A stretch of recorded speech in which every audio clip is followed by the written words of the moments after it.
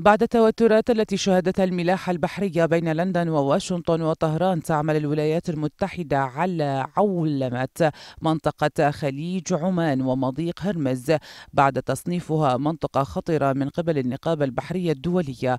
ويعتقد مراقبون أن النظام الإيراني انتهج سلوكا تصعيديا في مضيق هرمز بعد تكرار عمليات القرصنة.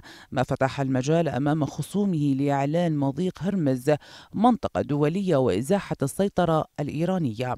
أعتقد كل خصوم إيران يتمنون أن تتمادى إيران في قرصنة السفن في الخليج لأنها ستتحول من دولة إلى عصابة من دولة مسؤولة شريكة في منطقة الخليج إلى قاطع طريق. وبالتالي هذا سيبرر أمام الخليجيين الآخرين والعرب والمجتمع الدولي.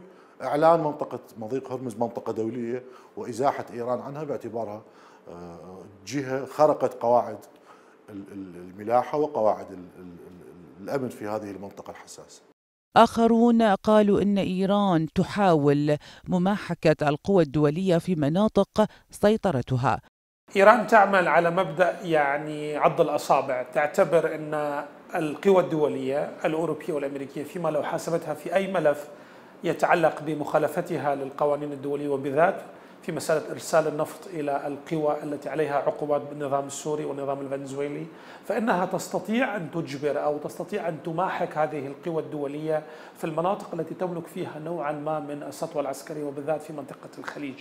وتبذل الولايات المتحدة الأمريكية جهودا حثيثة ومكثفة لتشكيل تحالف دولي لحماية حرية الملاحة في الخليج ومضيق هرمز إلا أنها تواجه صعوبات كبيرة في تكوين هذا التحالف نظرا لعدم رغبة كثير من حلفائها وأصدقائها الدخول في دائرة صراعها مع إيران.